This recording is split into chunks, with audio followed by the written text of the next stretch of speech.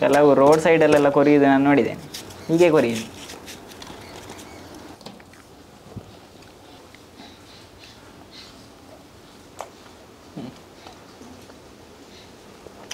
ಮಚ್ಚಂಗಾಯಿ ಒಳ್ಳೆದುಂಟು.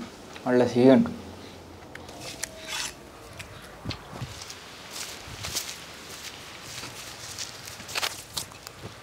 ನಮ್ಮಲ್ಲಿ ಹೆಚ್ಚಿನವರು ಕೂಡ ಉಂಟಲ್ಲ. ಬಚ್ಚಂಗಾಯಿ ತಿಂದಾದ್ಮೇಲೆ ಓಡನ್ನು ಬಿಸಾಡುವವರೇ ಇರುದು. ಇಲ್ಲಿ ಆದರೆ ತೆಂಗಿನ ಮರ ಆದರೂ ಉಂಟು. ಅದರ ಬುಡಕ್ಕೆ ಬಿಸಾಡಿದ್ದು ಅದಕ್ಕೆ ಗೊಬ್ಬರ ಆದರೆ ಆಗ್ತದೆ. ಆದರೆ ಪೇಟೆಯಲ್ಲಿ ಇರೋರು ಉಂಟಲ್ಲ, ಕಸ ಬುಟ್ಟಿಗೆ ಬಿಸಾಡೋದು. ಅದು ಸುಮ್ಮನೆ ವೇಸ್ಟೇ ಆಗೋದು. ಯಾಕೆಂತ ಹೇಳಿದ್ರೆ ಉಂಟಲ್ಲ, ಈ ಬಚ್ಚಂಗಾಯಿ ತಿಂದಾದ್ಮೇಲೆ ಈ ಓಡಿನಲ್ಲಿ ಅಲ್ಲಿ ತುಂಬ ಅಂಶಗಳೆಲ್ಲ ಉಂಟು. ಇದನ್ನು ಸರಿಯಾಗಿ ಸದುಪಯೋಗಪಡಿಸಿಕೊಳ್ಳಿಕ್ಕೆ ಆಗ್ತದೆ. ನಾವು ಅದನ್ನು ಹೇಗೆ ಅಂತೇಳಿ ನೋಡುವ, ಬನ್ನಿ. ಬಚ್ಚಂಗಾಯಿ ಓಡು ಅಂತ ಹೇಳಿದರೆ ತುಂಬ ಜನ ಪುಸ್ತಕ ಮಾಡುವವರಿದ್ದಾರೆ. ಆದರೆ ಹಾಗಲ್ಲ. ಇದು ಬಾಕಿ ತರಕಾರಿಗಳ ರೀತಿಯಲ್ಲಿ ಉಪಯೋಗಿಸ್ಲಿಕ್ಕೆ ಆಗುವ ರೀತಿಯಲ್ಲಿರುವಂಥ ಒಂದು ಐಟಮ್ ಒಳ್ಳೆ ರುಚಿ ಉಂಟು ಇದಕ್ಕೆ. ಬಾಕಿ ತರಕಾರಿಗಳ ರೀತಿಯಲ್ಲಿ ಇದಕ್ಕೆ ಕೂಡ ಒಂದು ಹೋಳು ಅಂತ ಹೇಳಿ ಮಾಡಿಕೊಂಡು ಉಪಯೋಗಿಸುವ ರೀತಿಯಲ್ಲಿರುವಂಥ ಒಂದು ಐಟಮ್ ಇದು. ನಾನು ಬಚ್ಚಂಗಾಯಿ ಕೊರಿಯುವಾಗ ನೀವೆಲ್ಲ ನೆನೆಸಿರ್ಬೋದು ಇವಾಗ ಬಚ್ಚಂಗಾಯಿ ಹಣ್ಣನ್ನು ಉಪಯೋಗಿಸೋಣ ಅಂತ ಅದರ ಜ್ಯೂಸ್ ಅದೆಂತಾದ್ರು ಮಾಡ್ತಾನೆ ಅಂತೇಳಿ. ಆದರೆ ಹಾಗಲ್ಲ. ನಾನು ಇವತ್ತು ಸಿಪ್ಪೆಯಿಂದ ಒಂದು ಒಳ್ಳೆ ಐಟಮ್ ಮಾಡುವ ಅಂತೇಳಿ. ನನ್ನ ಅಮ್ಮ ಆದರೆ ಇದರಲ್ಲಿ ಎಂಥ ಬಚ್ಚಂಗಾಯಿ ಓಡಿನ ಕೊಟ್ಟಿಗೆ ಅಂತೇಳಿ ಮಾಡ್ತಾರೆ. ದೋಸೆ ಮಾಡ್ತಾರೆ, ಪಲ್ಯ ಮಾಡ್ತಾರೆ, ಹೀಗೆಲ್ಲ ಮಾಡ್ತಾರೆ. ಸಿಪ್ಪೆ ತೆಗೆದಂಥ ಹೋಳುಗಳನ್ನೆಲ್ಲ ಈ ರೀತಿಯಾಗಿ ಚಿಕ್ಕ ಚಿಕ್ಕಕ್ಕೆ ಕೊಚ್ಚಿಕೊಳ್ಳುವ. ನೀವು ಕೂಡ ಈ ರೀತಿಯಾಗಿ ಸಿಪ್ಪೆಯನ್ನೆಲ್ಲ ಉಪಯೋಗಿಸ್ತೀರಿ ಅಂತೇಳಿ ಆದರೆ ಕಮೆಂಟ್ ಮಾಡಿ ನಮಗೆ ತಿಳಿಸಿ. ಯಾವ ರೀತಿಯಾಗೆಲ್ಲ ಉಪಯೋಗಿಸ್ತೀರಿ ಅಂತೇಳಿ. ನಮಗೆ ಗೊತ್ತಿರುವ ಐಟಮ್ಗಳಲ್ಲದೆ ಬೇರೆ ಕೂಡ ಐಟಮ್ಗಳನ್ನು ಮಾಡುವವರು ಇರ್ಬೋದು.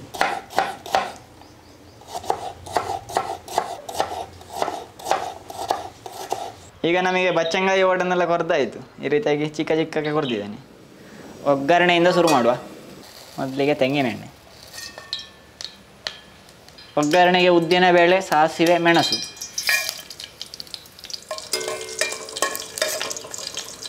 ಸಾಸಿವೆಲ್ಲ ಸಿಡಿದಾಗುವಾಗ ಎಳು ಸೊಪ್ಪು.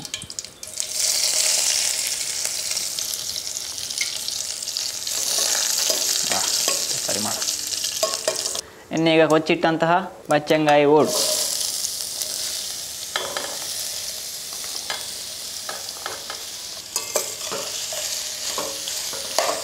ಹೋಳು ಬೇಯಲಿಕ್ಕೆ ಬೇಕಾದಷ್ಟು ನೀರು.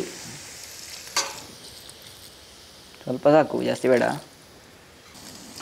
ಇನ್ನು ಇದಕ್ಕೆ ರುಚಿಗೆ ಬೇಕಾದಾಗೆ ಉಪ್ಪು, ಹುಳಿ, ಬೆಲ್ಲ ಅರಸಿನ ಹುಡಿ ಮೆಣಸಿನ ಹುಡಿ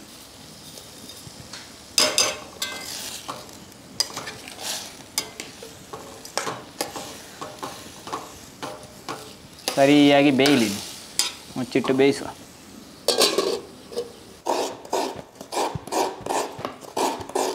ಹೋಳೆಲ್ಲ ಸಾಧಾರಣ ಬೆಂತು ನೋಡಿ. ಇನ್ನೀಗ ಸ್ವಲ್ಪ ನೀರು ಆರಲಿಕ್ಕೆ ಬಾಕಿ ಉಂಟು ಅದು ಆರುವ ಮೊದಲು ಇನ್ನೀಗ ನಾವು ತೆಂಗಿನಕಾಯಿ ತುರಿ ಸ್ವಲ್ಪ ಸೇರಿಸಿಕೊಳ್ಳುವ. ಸ್ವಲ್ಪ ಕಾಯಿಗೂ ತುರಿ ಕೂಡ ಬಿಸಿ ಆದರೆ ಬೇಗ ಹಾಳಾಗೋದಿಲ್ಲ ಪಲ್ಯ ಎಲ್ಲ ಈಗ ಬಚ್ಚಂಗಾಯಿ ಓಡಿನ ಪಲ್ಯ ರೆಡಿ ಆಯಿತು.